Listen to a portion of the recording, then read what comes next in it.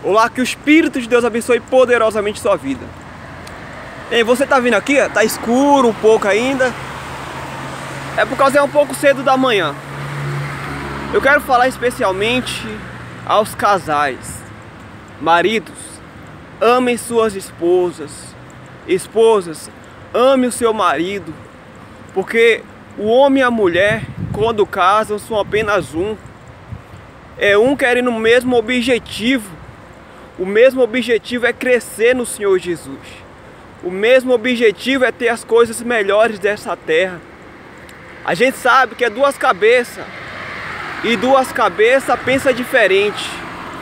Mas quando um se propõe a se colocar no lugar do outro, o objetivo é o mesmo. Esposa, se coloque no lugar do seu marido. Marido, se coloque no lugar da sua esposa, porque a gente sabe que o objetivo de cada um é chegar no mesmo lugar. Entre casal não existe primeiro e segundo lugar.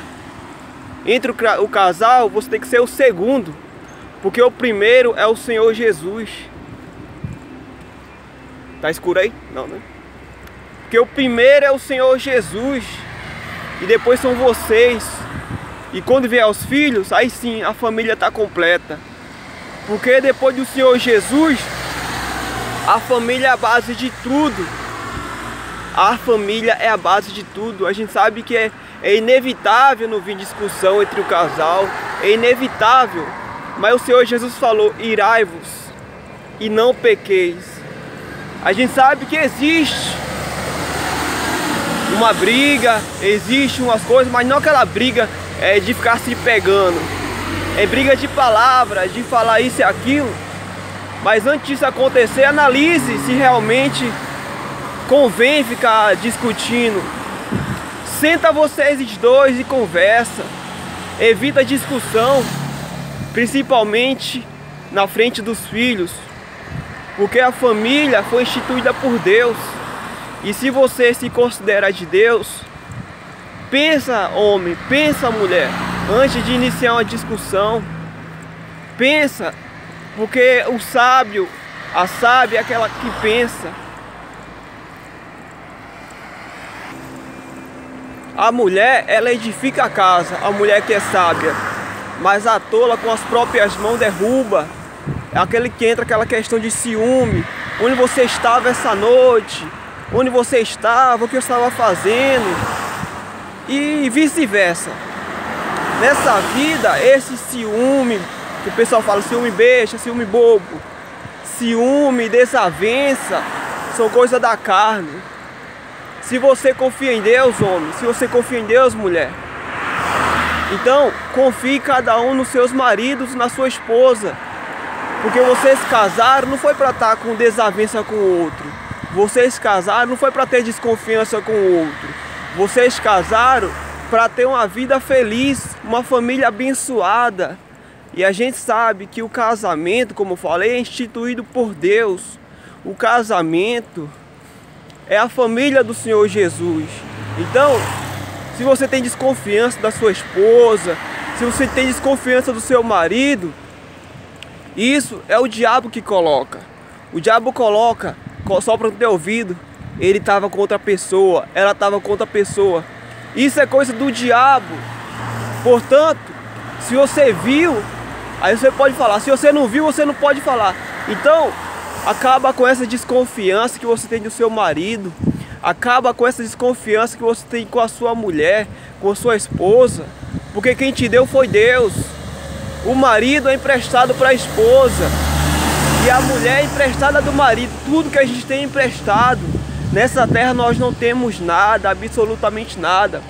Agora sim, se você está fora do caminho de Deus, se você não vai na casa de Deus, aí você desconfia, porque as coisas do mundo, infelizmente, é para desconfiar, porque o diabo usa uns lá fora, uns em todo lugar ele usa. Agora, se você é de Deus, aí você tem que vigiar, porque a fidelidade principalmente vem de Deus. Seja fiel primeiro a Deus, aí você vai ser fiel ao seu marido. Para uma pessoa casar hoje, ela tem que pensar muitas vezes, porque A gente sabe que o diabo ele envia muita gente usada por eles para lá na frente colocar o laço para derrubar uma pessoa. Pessoal, você que é casado, ame a sua esposa, porque como eu falei, é um presente de Deus, porque quando você morrer, você não vai levar sua esposa, você não vai levar o seu marido. Então, marido e mulher, respeite um ao outro, dê o que o outro merece, dê amor à sua esposa, dê amor ao seu marido, porque a gente sabe que um dia todos vamos partir. Sua esposa vai partir, seu marido vai partir, seus filhos vão partir.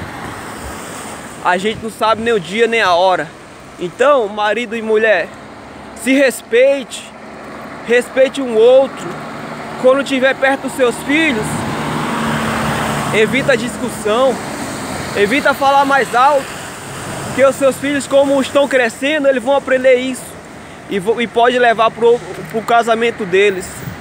Então, ame uns aos outros, porque você casou, não foi para ser feliz, você casou para fazer a sua família feliz. Você casou para fazer o seu marido feliz. Você casou para fazer sua esposa feliz. Então, faça um ao outro feliz. Porque se tem egoísmo no meio, não há felicidade. Você tem que se dar pela sua esposa. Você tem que se dar pelo seu marido. Não olhando outras pessoas, não olhando outras mulheres, não olhando outros homens. Porque a gente sabe que a melhor coisa é ter a família na presença de Deus. Mas obreiro, e as invejas? Tem muita gente que tem inveja da gente, porque a gente é um, um casal feliz. Quando você é fiel a Deus, quando você é de Deus, pode vir inveja, pode vir Satanás, pode vir diabo. Isso não pega em você. Mas se você é uma pessoa infiel, você é infiel à sua esposa, infiel ao seu marido, a inveja pega e derruba. E é por isso que eu falo pra você, é, seja fiel primeiro a Deus, porque em primeiro lugar Deus, em segundo lugar família. Seja fiel nos seus dízimos, nos seus votos, em tudo que você fizer perante a Deus, seja fiel, se apresse em pagar os seus votos, porque Deus não se agrada de voto de tolo. É por isso que quando tem um propósito na igreja, você tem que pensar direito. Se você vai fazer ou não, porque se você for no embalo dos outros, infelizmente você está pecando. Tá bom? Então, é, é isso. Seja fiel à sua esposa, ame sua esposa, ame sua família e coloque Deus acima de tudo, tá bom? E Deus vai honrar a tua vida. Que Deus abençoe você. Se você ainda não se inscreveu nesse canal, se inscreva. Compartilhe esse canal. Curta esse vídeo. Deus abençoe você e até lá.